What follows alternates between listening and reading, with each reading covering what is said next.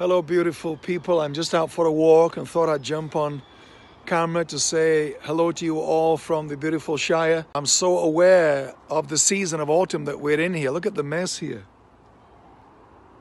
All the leaves that are falling from the trees and flying past me as I walk. And I just thought, at the risk of sounding a bit cheesy and simplistic, to say to you guys, this this is a metaphor for what's happening in all of our lives as humans. It's good, it's, it's great, it's organic, that, that no one's shaking these trees, that no one's going up picking off old leaves, deciding which ones are old and which ones can stay. It is happening all by itself as nature does its thing.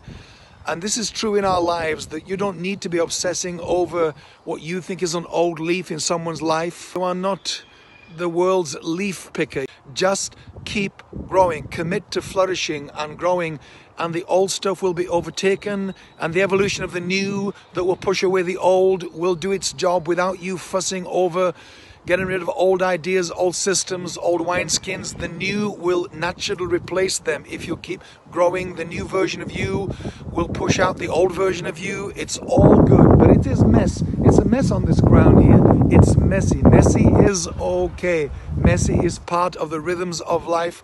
So I wish you happy autumn season in your life. If you feel that's what you're in, don't worry.